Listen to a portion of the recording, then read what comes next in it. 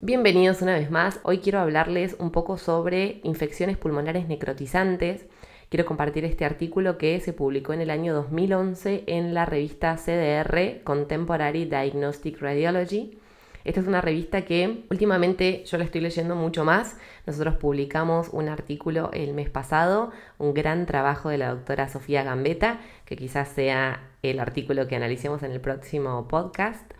Este artículo puntualmente se titula Neumonía necrotizante, absceso pulmonar y gangrena pulmonar, múltiples vías de destrucción del parenquima pulmonar.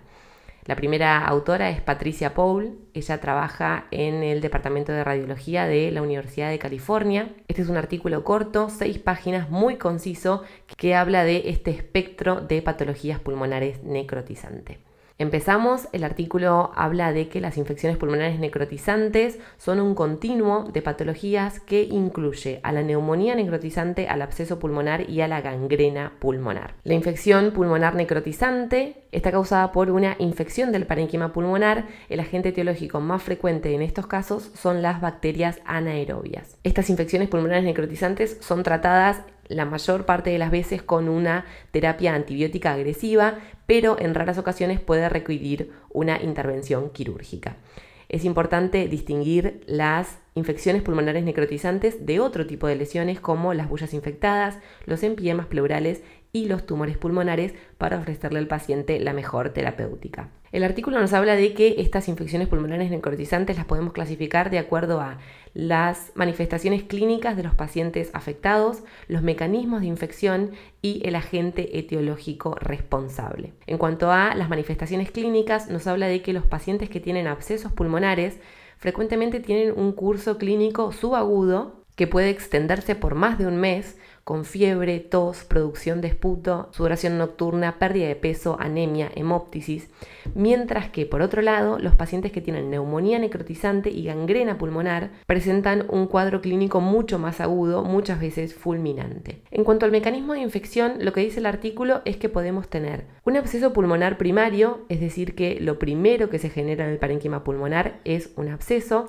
o abscesos pulmonares secundarios, que son la consecuencia de una neumonía necrotizante en pacientes inmunocomprometidos.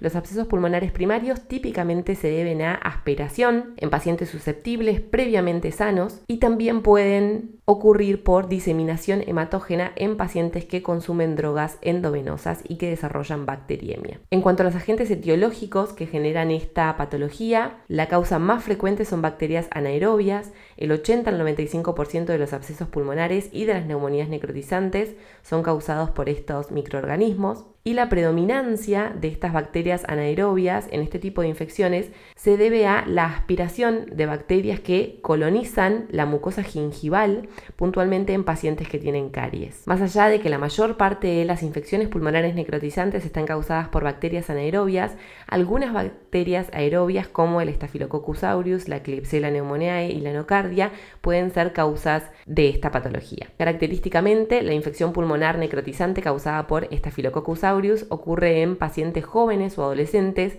que han sufrido una infección por influenza subyacente.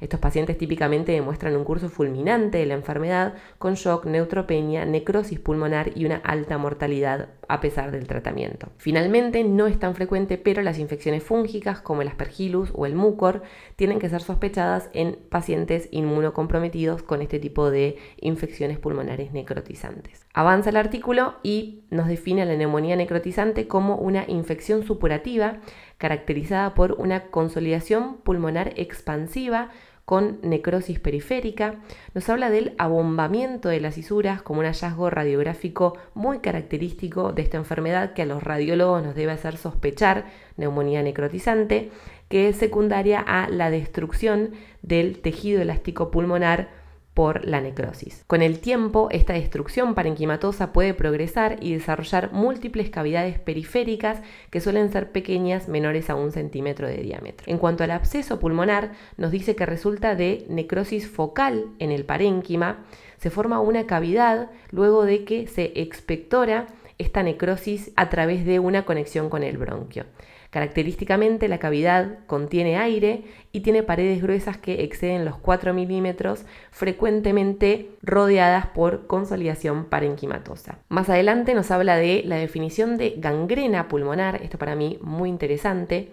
Este término se usa para describir un área grande de necrosis parenquimatosa con un secuestro interno de parénquima pulmonar no viable dentro de la necrosis. Y el artículo nos dice que si hacemos imágenes seriadas de esta patología, típicamente vamos a encontrar una consolidación lobar expansiva que se sigue del desarrollo de estas pequeñas cavidades periféricas que coalescen en una cavidad mayor que es el absceso, y finalmente si esta necrosis avanza y termina de rodear un fragmento de parénquima pulmonar no viable, se forma la gangrena pulmonar. Y nos habla de que el microorganismo que está más frecuente asociado con el desarrollo de gangrena pulmonar es la Klebsiella pneumoniae, que recuerden que es el microorganismo que típicamente en radiografía genera este abombamiento de las cisuras. Más adelante nos habla de la patogénesis de la necrosis pulmonar, nos habla de la aspiración, que es la causa más frecuente de infecciones pulmonares necrotizantes, recuerden eso. La neumonía aspirativa tiene una distribución gravitacional, ocurre frecuentemente en lóbulos inferiores, en los pacientes que están de pie o en los segmentos apicales de los lóbulos inferiores y segmentos posteriores de los lóbulos superiores en los pacientes que están en decúbito. Al principio la neumonía aspirativa se caracteriza por cambios inflamatorios, puede aparecer como una bronconeumonía. Subsecuentemente, después de 7 o 14 días, los pacientes empiezan a desarrollar abscesos pulmonares o neumonías necrotizantes. Los empiemas pueden verse como complicaciones secundarias luego del desarrollo de una fístula broncopleural o de una siembra a través de la vía aérea hay traslocación bacteriana desde el parénquima pulmonar hacia la cavidad pleural sin que haya una ruptura, una solución de continuidad evidenciable. Por otro lado, además de la aspiración, los émbolos sépticos pueden ser una causa de abscesos pulmonares. Típicamente por imágenes lo que vemos son nódulos pulmonares múltiples, pequeños, que se cavitan rápidamente, tienen una predominancia basal y periférica, porque ahí es donde está mejor perfundido el parénquima pulmonar. En aproximadamente 60% de los pacientes podemos encontrar el signo del vaso nutricio o feeding vessel, que es un pequeño vaso, una pequeña arteria que irriga directamente ese nódulo pulmonar. Estos impactos sépticos, lo mismo que sucede con la aspiración, también pueden complicarse con empiema, ya sea por una fístula o por traslocación bacteriana. Son muy frecuentes en pacientes consumidores de drogas endovenosas, la infección en general se origina en las venas periféricas, ocurre una tromboflebitis o por válvulas cardíacas infectadas, a partir de las cuales por vía hematógena se disemina el microorganismo que termina impactando en el parenquima pulmonar y generando esos émbolos sépticos. El agente etiológico más frecuente en esta entidad es el Staphylococcus aureus y acá nos da un tip que dice que otros hallazgos imagenológicos sugestivos de historia de consumo de drogas endovenosas pueden incluir la presencia de granulomas pulmonares de cuerpo extraño, hipertensión pulmonar, fibrosis intersticial y enfermedad pulmonar bullosa. Nos menciona por último que los impactos sépticos en los pulmones en pacientes que no son consumidores de drogas endovenosas pueden ser el resultado de diseminación hematógena de otros sitios de infección extrapulmonar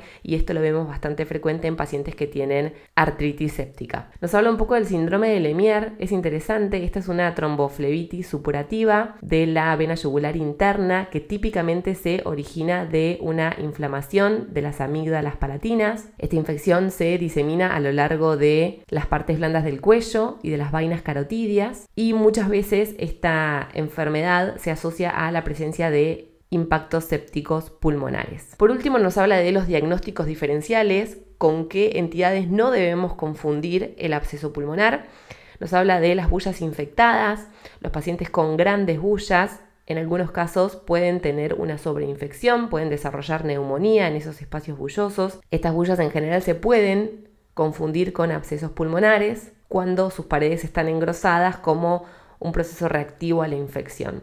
Sin embargo, el artículo nos da este tip que es que los pacientes que tienen bullas infectadas en general tienen enfisema pulmonar severo, ir a buscar ese signo, importante ir a buscar ese hallazgo y muchas veces las bullas, más allá de que estén infectadas, tienden a tener paredes un poco más finas y un poco más lisas que el absceso pulmonar. Es importante, si el paciente tiene estudios previos, analizarlos porque vamos a poder identificar la bulla previo a la infección. El empiema es otro diagnóstico diferencial, es la acumulación de material purulento dentro de la cavidad pleural y puede ser mal interpretada como un absceso pulmonar.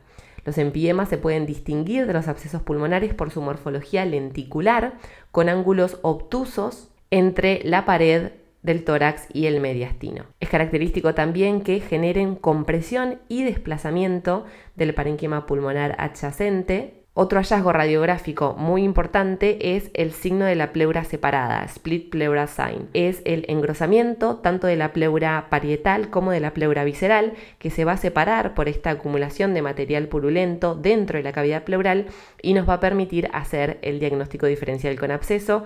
Un estudio refiere que este hallazgo se ve en aproximadamente 60% de los pacientes con empiema en los estudios tomográficos sin contraste, pero en un 90% de los pacientes con empiema que se realizan una tomografía con contraste, o sea que el contraste va a ser clave para poder hacer este diagnóstico diferencial. Y por último nos habla de los tumores o las masas necróticas del tórax, que pueden ser unos confusores del absceso pulmonar.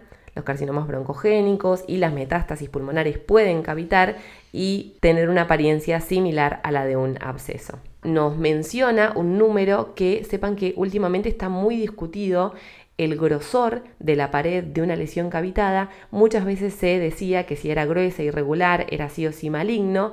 Este artículo nos propone un punto de corte de 15 milímetros.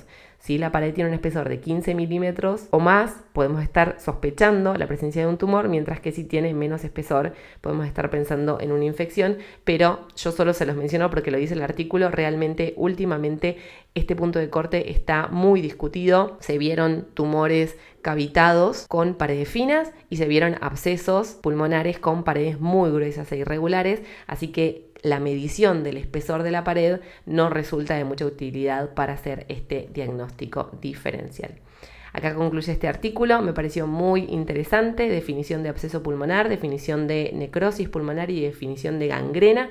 Espero que les haya servido y nos vemos la próxima.